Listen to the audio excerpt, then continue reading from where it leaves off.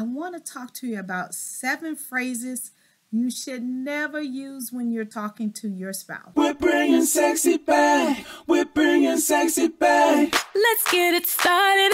Harder, won't you give it up? Hello, beautiful lady. Yes, I am talking to you. It is Thursday, and you know what goes down here on Thursday. Wife Life with Dr. Gail goes down here on Thursday. So do me a huge, huge favor. Make sure that you're hitting the subscribe button and the little bell right next to it so you'll know when I go live. And so tonight, I want to talk to you about seven phrases you should never use when you're talking to your spouse. Seven phrases you should never use when you're talking to your spouse. And I know sometimes this is hard because I am so guilty of using these phrases, I could just slap my own self.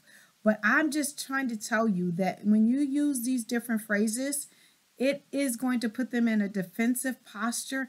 And the thing is, is that we want to have free flowing communication. So let's get into these phrases. Phrase number one I'm done. I'm done. What does that mean? If you are in a bad situation and your marriage is in a bad place, that could mean I'm done. I want a divorce. But most of the time, when we say I'm done, it means that we're done with the communication. We're done trying to make something work. We're done trying to get the uh, situation resolved. It does not mean that I'm done with the other person. But again, if your marriage is in a bad state and you have talked about divorce or you guys are just not seeing eye to eye, that word I'm done can be the catalyst that will push you over the edge or push that other person over the edge. So be careful with that word I'm done. Number two, that's dumb or stupid.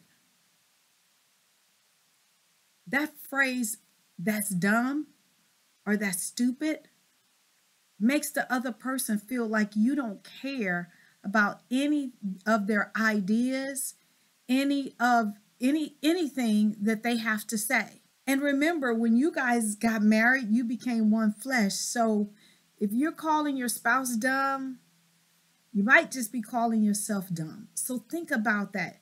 That's dumb. That's stupid. And I used to be so guilty of that. When Gil's like, we should do so and so, so and so, I'm like, no, that's dumb. That's a dumb idea. Not meaning that I was calling him dumb, I was calling the idea dumb, but to him, he internalized that I was calling him dumb. So be very, very careful with that phrase. That's dumb or that's stupid. Number three, leave me alone. That phrase can be taken so many different ways. Just leave me alone.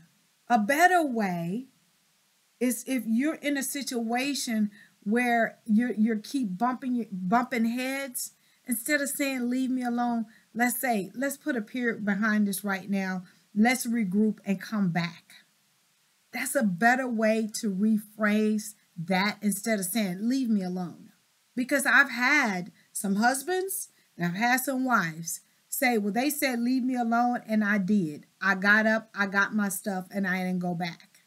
Because remember, your words have power.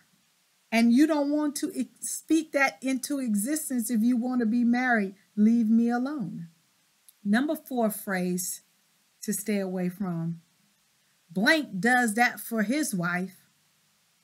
Blank does that for, for her husband. Those are two other people. That's not your spouse. Don't compare your spouse to other people trying to get them to do something for you or with you because that puts them in a negative space and they don't want to be compared to someone else's spouse.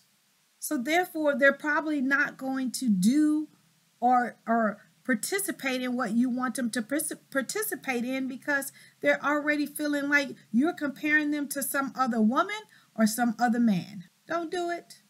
Phrase number five to stay away from. Here we go again.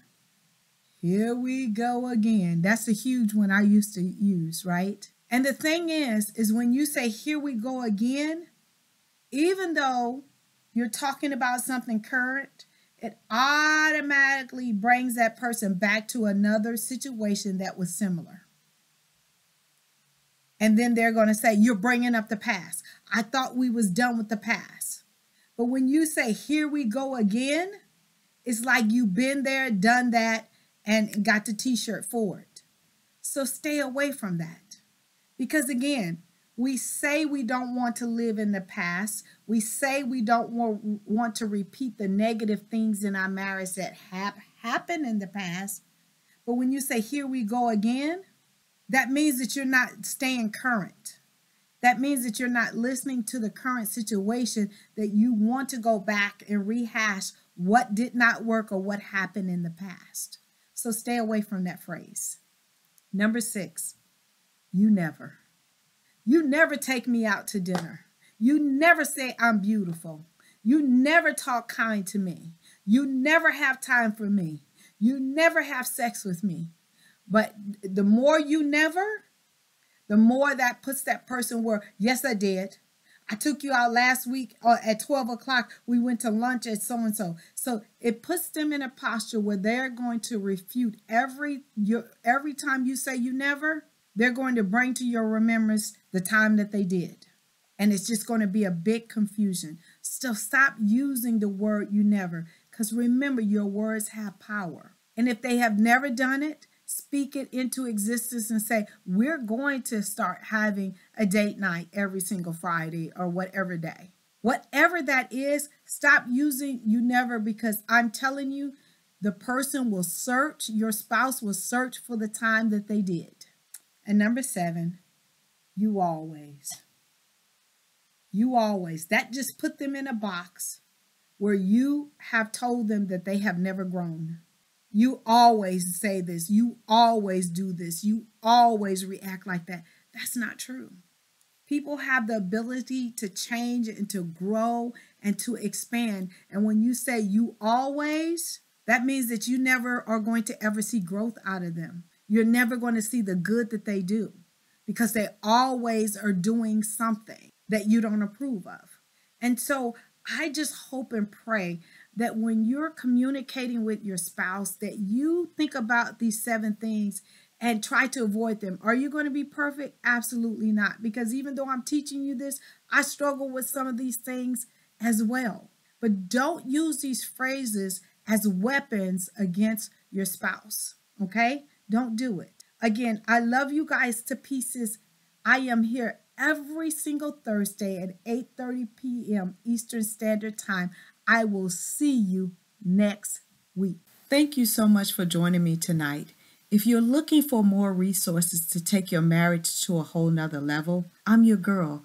Please click the link below and visit my website. There's tons of ebooks and books and all kind of things just to help you on this wife life journey. As well as I would love for you to join me on all my other platforms. You can look for me on TikTok, Instagram, and my Facebook page. I am always hanging out on all my platforms. So click the link below and join my tribe. I truly appreciate you. We're bringing sexy back. We're bringing sexy back. Let's get it started. I don't want you give it up.